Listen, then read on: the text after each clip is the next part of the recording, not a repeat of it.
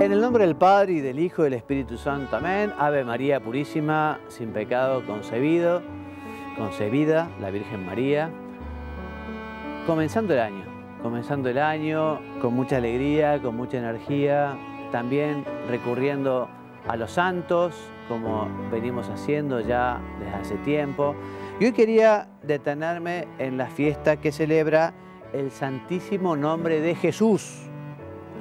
En la Sagrada Escritura se da gran importancia al nombre, porque el nombre expresa el ser de las cosas y también su misión en el mundo. Dios finaliza la creación poniendo nombres a las criaturas y luego le pasa a Adán este mismo encargo, que ponga nombre a las criaturas, a lo creado, a las cosas. El nombre viene a ser como la persona misma y cambiar a alguien el nombre es imponerle una nueva personalidad.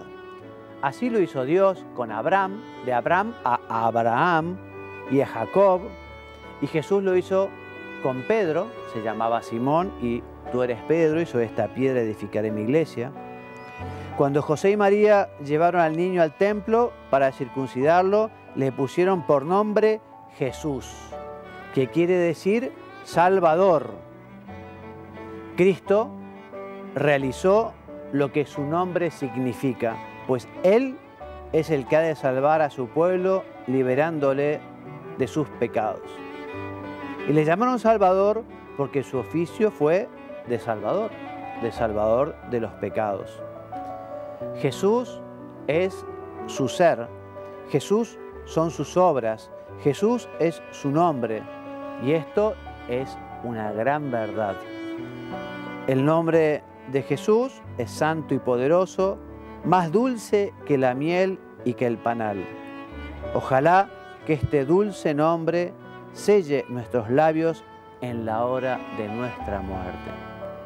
Qué, qué, devoción preciosa, nombrar al Señor con frecuencia, decir el santo nombre de Jesús. Y te lo recomiendo ante los momentos de dificultad. ¿eh? Jesús, ayúdame. Jesús, necesito que me des fortaleza. Jesús, perdón. Jesús, te pido por esta persona, por este problema, por este asunto.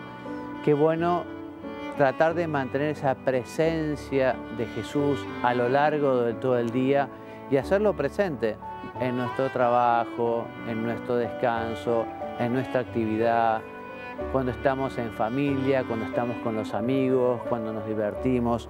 Que Jesús siempre esté en nuestro corazón, pero también en nuestra boca.